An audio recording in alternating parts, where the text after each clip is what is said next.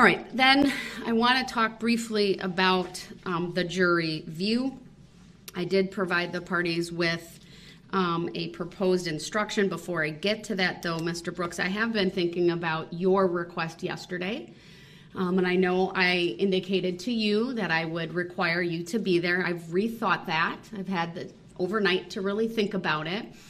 And um, if that is your decision to not be present for that, um, what I would say is this: you, I want you to be advised that you have a right to be at that jury view. Did you hear me say that?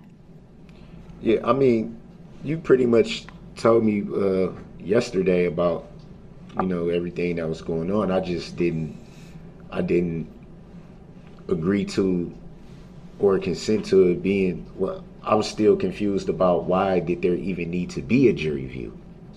That was my whole thing. I, I didn't I don't see the, the relevancy of it. And I also didn't agree with agree with or consent to having to be part of something that I don't see as relevant. I appreciate you making a record of that, but did you hear what I said that you have a right to be present for it? I've ruled that where let me back up. There's been a request from the state to have the jury look at the vehicle that was recovered by the police and, of course, is alleged to be the vehicle that was driven through the parade. Did you hear me advise you of that? Yes, I heard. All right, so that motion was addressed previously, and I granted the request for that jury view. Did you hear me say that? Uh, I'm, I'm informed. All right, thank you. So, with that, you have a right to be present at that jury view. Did you hear me say that? I'm informed and um, I would like you to be there.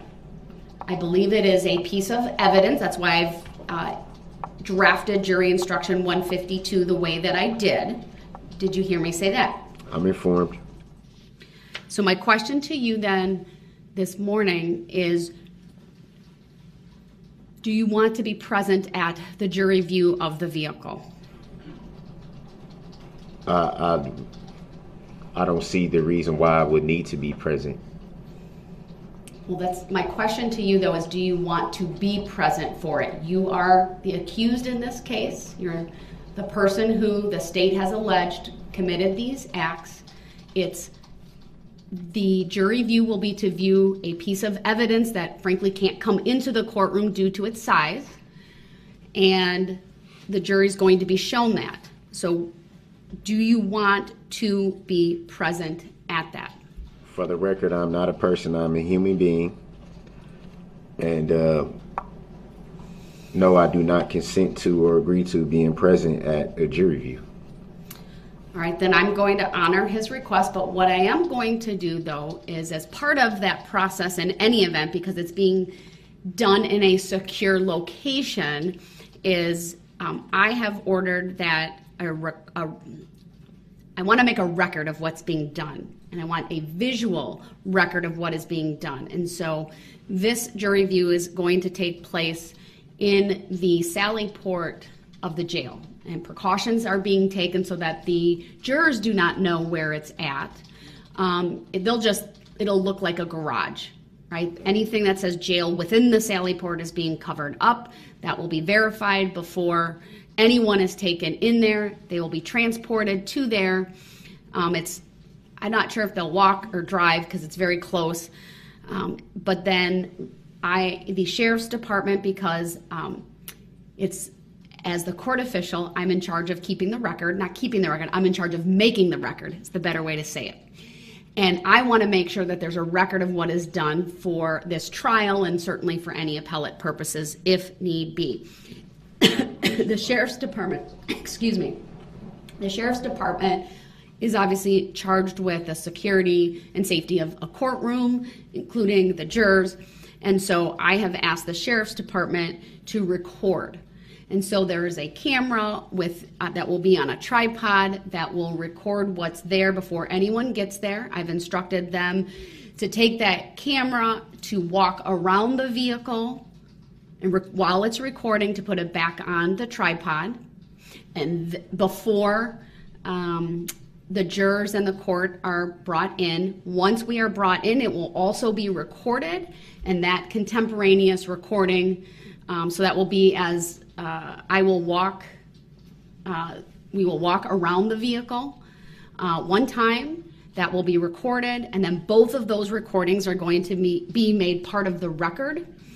Um, because the second recording is for the record and has the jurors, um, at this point, I'm going to seal it uh, so that uh, at least until the conclusion of the case, given the order that I have regarding the uh, what's referenced as an anonymous or numbered jury, so that will be sealed. Um, but what will be released to the uh, public or be made part of the public record, and so therefore any media request would be that recording that just shows the vehicle without the jurors in it and without the court. So, and then I plan on also bringing that back to the courtroom while the sheriff's department's going to bring it back, and then we'll show it to you at that time. I, I have a question though. Go uh, ahead.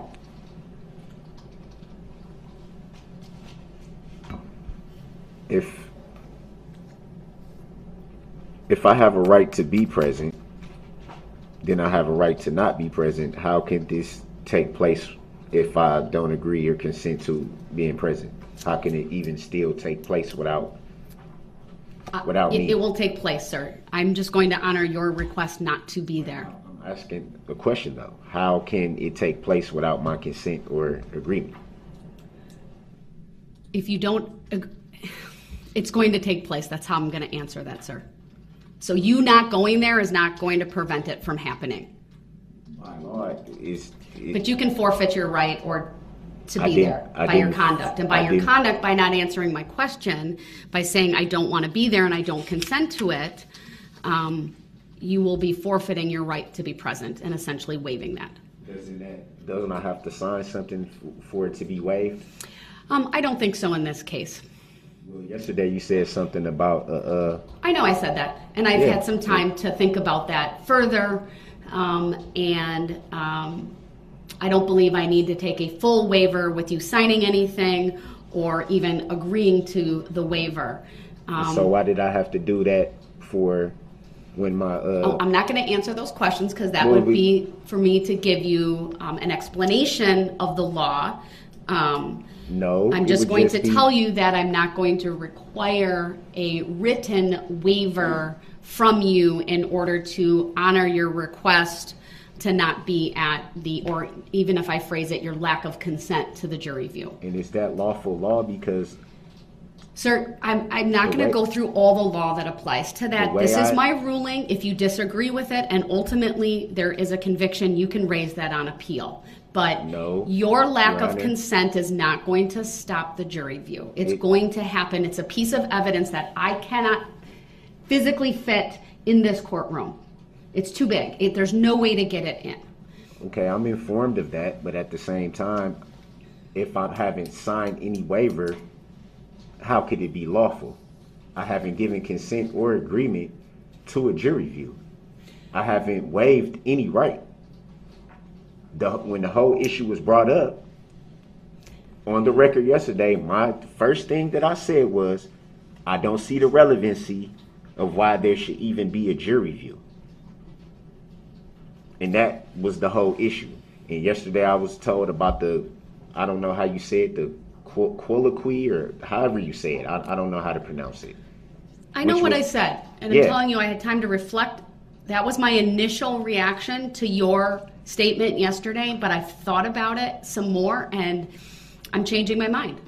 Um, So I, you- I don't believe I need to take a full waiver with a colloquy with you and anything in writing. I'm advising you, you have the absolute right to be there. But I'm also advising you that if you choose not to be there, I will honor that request. Um,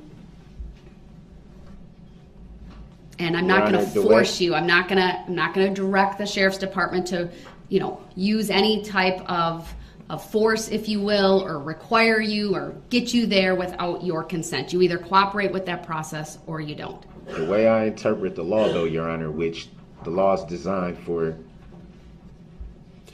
to be interpreted by the people. The way I interpret that is I have the right or essentially to be there or not to be there, and it still has to be an agreement or consent.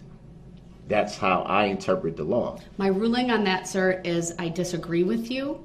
You do not need to provide consent uh, for the jury view to happen. Your objection is noted for the record. I'll make a specific finding today that it is relevant uh, to these proceedings, to this trial.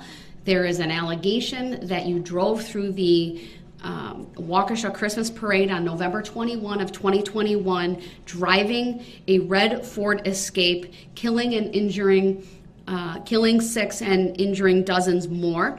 The relevance is that there is, in addition to the charges, there's an enhancer that has been charged as it relates to the intentional homicide charges and the first degree recklessly endangering safety, that you committed those acts while using a dangerous weapon. I would direct your attention to the meaning of a dangerous weapon that uh, the legal definition that was provided to the jurors in the preliminary jury instructions, and that the jury view um, is uh, related to the evidence that the state is presenting uh, regarding the charges and specifically uh, the instrumentality that they allege is the dangerous weapon. So there's clear relevance of this vehicle as and has evidentiary value.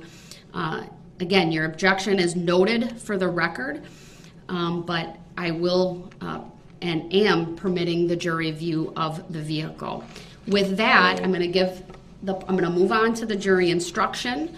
Um, I don't agree or consent to that, Your I, Honor. I understand If your I'm objection is well noted for the record. I, I need to keep going though. On the pattern and I'm jury. informed that you need to pattern- keep going. I'm not trying to stop you from continuing to go. I'm, I'm s- merely stating for the record that there are things I do not understand how they'll be, how they're being permitted versus the Constitution. I mean, I'm, I'm sure you're, you're aware under Article Six, Chapter Two about the supremacy clause that the Constitution is the supreme law of the land. So how can we disregard? Mr. Brooks, I'm not disregarding the Constitution. I've Well, I made have- my, here's the thing, I've made my ruling, okay? Once I've made a ruling, I do expect that even if you disagree with it, you're gonna, you will not continue to argue it.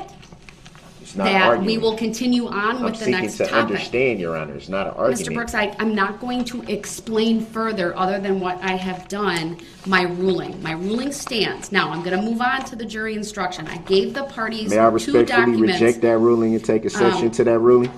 Your objection is noted.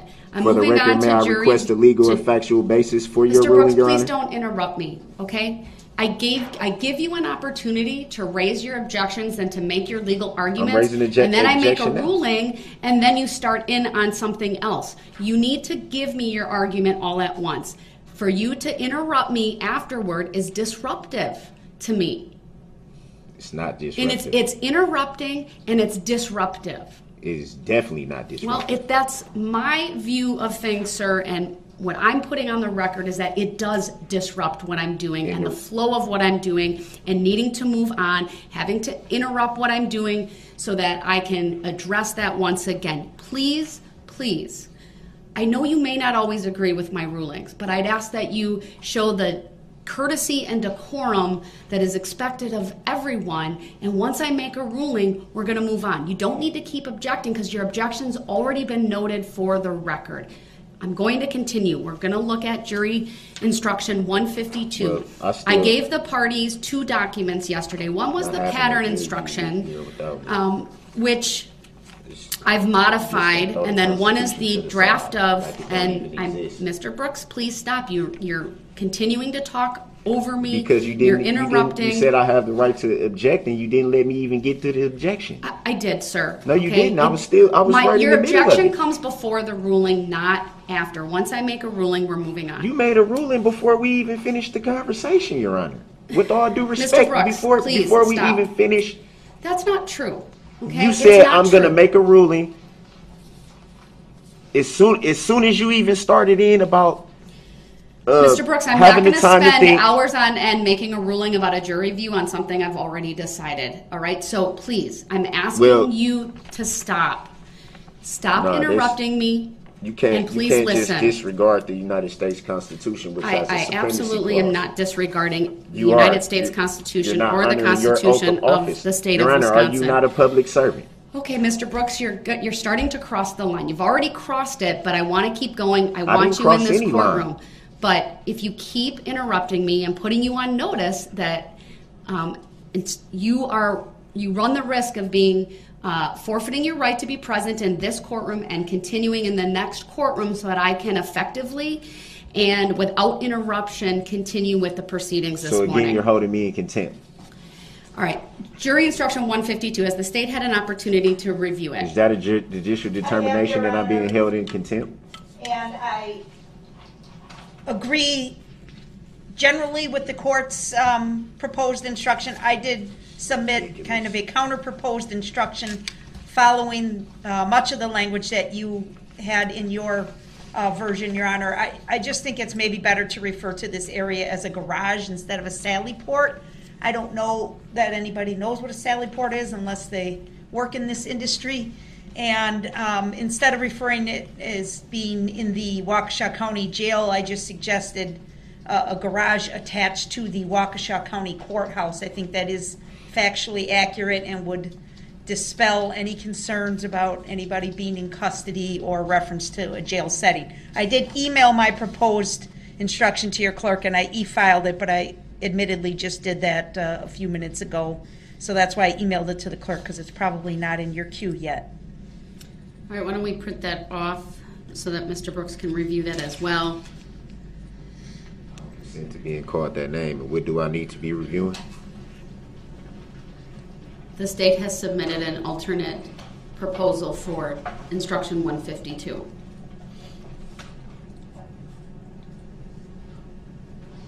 And that's referring to this quote unquote jury view. Yes.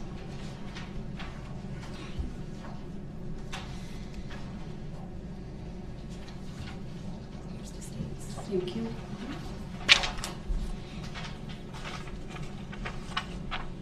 I accept for value in return for value this document. Now, like the rec- record to reflect, I still haven't, um, received my original copies of my filings here this morning. With the timestamp.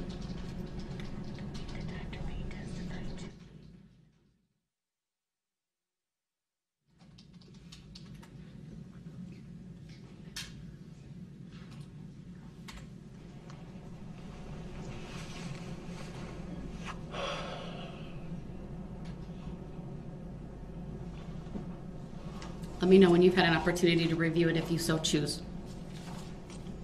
I just stated for the record, I accept for value in return for value document. Do you have any position on the state's proposal? I'm, I'm still trying to understand the whole process. Mr. Brooks, my question to you is, do you have any position on the state's proposed jury instruction? Otherwise, I'm Uh, going to rule on their request. You're gonna rule on the request anyway. I got a lot of questions that don't get answered. I have to rule on the request, sir. It's been a proposal filed with the court. You haven't ruled on subject matter jurisdiction yet. Yes, I have. No, you In haven't. any event, do you have a position on the jury view, sir? Yeah, what about subject matter jurisdiction? One last time, Mr. Brooks, do you have a position on Can the I, state's can I go over the proposed- document, please? Can I do that, Your Honor? Respectfully sorry? for the record, may I do that?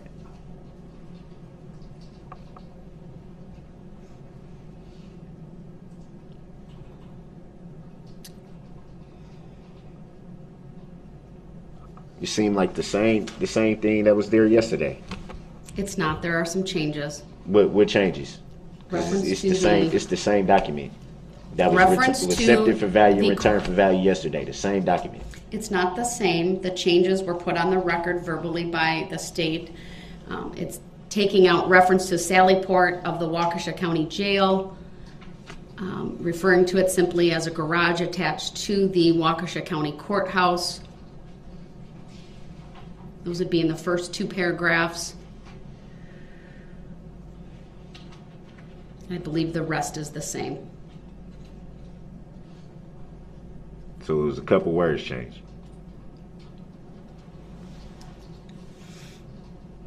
That's my understanding. So it's the same document.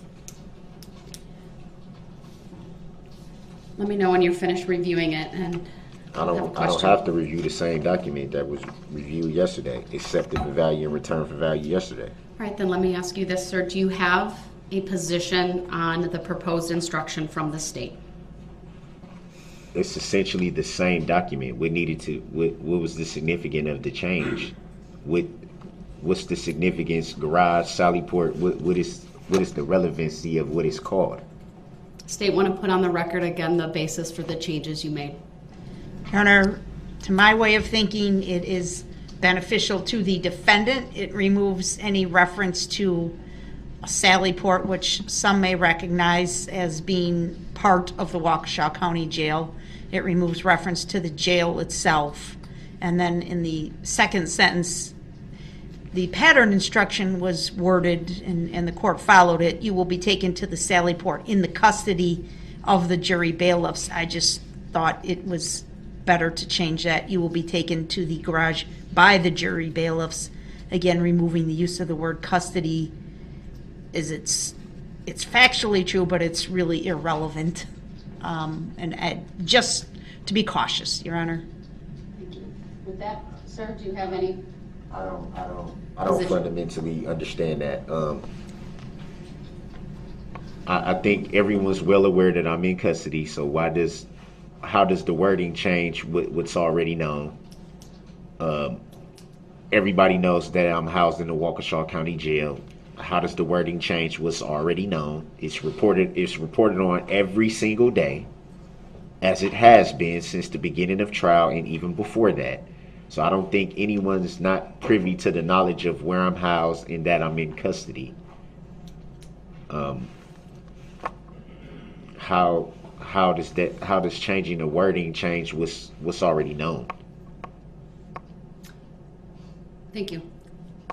From my perspective, um, of course, when I drafted this yesterday, um, factually, uh, what I put in there uh, would be accurate because that's where the jury view is going to take place. I think changing the verbiage so that it says a garage attached to the Waukesha County Courthouse um, takes away any possibility that other law enforcement is condoning what is happening um, or somehow related to the case. Um, it is true the location was selected uh, due to your custodial status and being able to secure the area for the court, for you, for the jurors, etc. Um, but it's also a controlled environment, I think, a good thing for purposes of the jury view. Um, and so I am going to adopt the draft that was submitted by the state. It can, it still is factually accurate. Um, the whole, and from my perspective, again, the importance of this instruction is to tell them what is and what is not evidence, um, and to instruct them and to not talk during this time. They can't discuss what they see during this time. This instruction uh, will be read while we are still in the courtroom prior to uh, the parties uh, and the court going to the Sally Port for that viewing. And I've already discussed how it will be contemporaneously recorded so that it's part of the record as well. So if I was there, where will I be at? My understanding, if uh, you choose to be there, is you will be escorted uh, like you are in court here t- now. The bailiffs would be with you. You'd be in your suit. Um, No, where where will I be at? it- you would. I don't know exactly. That's up to the sheriff's department as to where all the parties are going to stand. Um, obviously, you would. You know, we're not going to commingle you with the state or the state with jurors or you with the jurors or the court or anything like that. We're kind of, my understanding is um, we'll have sort of assigned places and that it's only myself who will walk around. And I may not even do that. I have to think about that. But it, the jurors are the ones who are going to walk around uh, the vehicle one time. So I don't get to walk around the vehicle? I can have you do that before, before the jurors come in. I certainly can have you do that if you would like. I can give the parties that opportunity. And may, may I add something else, Your Honor? Um, I, I agree with everything the court said. I also think Mr. Brooks should understand that it will be a fair process. He's not going to be led into the room in shackles in front of the jury. What it's my understanding from Captain Dussault, the attorneys for the state, the prosecution team will be in the room. Mr. Brooks will be in the room. We will be in our assigned location. It will be fair. It will match. There will be basically no distinction between how Mr. Brooks appears to the jury versus how we appear to the jury. We will be in there first. If the court's willing to allow him to walk around the car one time to look at it, we have no objection to that. And then the jurors will come in. No one will speak. They will do one lap around the car. They will leave the room, and then the parties will leave the room. That's my understanding, Your Honor. And I will add to that, because it's been a while since I had some preliminary discussions with the sheriff's department on this, that if however many bailiffs, sh- sheriff's deputies are with you, I want the same number with the state. Right? And that's what we mean by it will look no different. So each party will be accompanied by deputies. Um, I have a question to that. Okay. Um, how come none of that knowledge of how it would be conducted was discussed with me? I didn't. I didn't know anything about how the bailiffs would actually do things, how certain things would, would go. To, I, I. This is my first time hearing this. Well, we have preliminary- I don't understand it. We had preliminary discussions at the time of the request back in August, when you still were represented by counsel. Um, and then I had some prelim, additional preliminary discussions, if you will, internally with court staff, which included Captain Dussault and uh, someone from the jail uh, to talk about it and the logistics of it. And then, of course, we're having the discussion now, which is again, why there's no jury here now. I wanted to wait until the appropriate time and then make a record of everything. But don't you At no think- time did I have conversations independently with the state. They you- had filed a letter at one point because they themselves had, again, my understanding, and Attorney Opper can correct me if I'm wrong, had some discussions with, to see if it was feasi- feasible. Uh, they had some discussions with Captain Dussault. And Captain Dussault is uh, with the Waukesha County Sheriff's Department. Of course, uh, the Waukesha County Sheriff's Department uh, and the sheriff is statutorily responsible for the security of the campus, security of the courtroom. Um, and so that would be the proper person for any party to have discussions about a piece of evidence uh, such as this. Um, but I did not have any discussions with the state myself. That only happened in the setting of a courtroom or when uh, a letter was received and I reviewed it. I haven't reviewed that letter or seen it. Don't you think that? It was specifically addressed at the jury status hearing, at which time he was represented by Attorney Perri and Attor- Attorney Kees. It is on file, and it was addressed by this court, many of these details, Your Honor. All right. Many of the same So- details that's being discussed right now at this moment. All right, Mr. Brooks, do you have uh, a request as it relates to any of that? Well, yeah, I'm I'm still trying to understand the whole how how this is all working, and then it was a reference to um, how the shackles would look, or how being shackled or not being shackled. I'm guessing that I, can't just walk around freely with bailiffs. I'm sure there would be some type of shackles. Um, I will tell them you are not to be shackled visibly for the jury to see. And what do you mean by visibly, And- Your Honor? So, obviously, when you sit in court, you're shackled to a table. They can't see that. Um, I'm not going to have you in belly chains or in uh, leg shackles. You're just going to be escorted. And it will be up to them how they determine. Um, Well, he may be in leg shackles, Your Honor, if there's a table or some way that they can keep that out of the view of the jury. Just like he is in court. He's shackled in court. He has been for three weeks. Actually, these are The, the security has to be left at the discretion of the sheriff's department. Actually, That these are leg position. leg shock devices, not shackles. Sir, the security is up to the sheriff's department. I should be careful not to overstep my bounds on that. And, you know, whatever is done, it should not be viewable or visible to the jury. Um, And why why is that, Your Honor? I don't understand that part. Why is the jury not privileged to see That is to your benefit. shock? I'm not going to explain that any further. I, Um, I just I don't understand. I'm just seeking to understand. I don't know. All right, I need to move on, so I, if, unless there's a specific request, other than a statement that Yeah. you're making about your lack of understanding, I need to move on with the other There is topics a specific request. Why do I have to have ankle shocks on my ankles to appear at this jury view thing? I guess I'm not aware of what you're talking about, so did, were you advised by the sheriff's department that that would be the case? Well, she the, the DA just said that I would have the ankle shocks on. No, shackles, she said. No, the, these are not shackles. They're shock a Judge. shock device. Judge, I think perhaps we can move on. I think maybe because this is going to have to occur on a break, the bailiffs can take him down there if Captain Dussault is willing, show him what it's going to be like, show him how he's going to get there, and he can decide at that point if he wants to be there or not when the jury comes in the room. We're spending a lot of time talking about security and things that are frankly beyond your knowledge and my knowledge.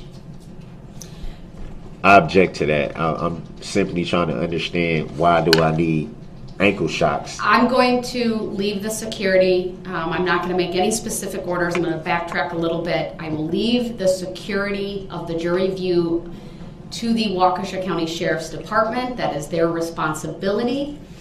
Um, and I trust that they will do what needs to be done to maintain the security, no different than what they do here. Um, and in their discretion will determine how best that takes place.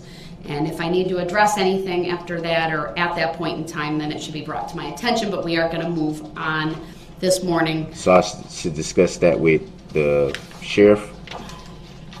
Yes. So I know, Mr. Brooks, you filed uh, with the court two documents. I'm going to take them under advisement. No, I'm it's not one going document. to- It's one. It was two papers, but it's it's one document. Oh, all right, thank you for that clarification. It's one filing, two papers, just front side, uh, entitled Alleged Defendant Jurisdictional Challenge and Mandatory Judicial Notice by Affidavit. It references the case caption, the case number.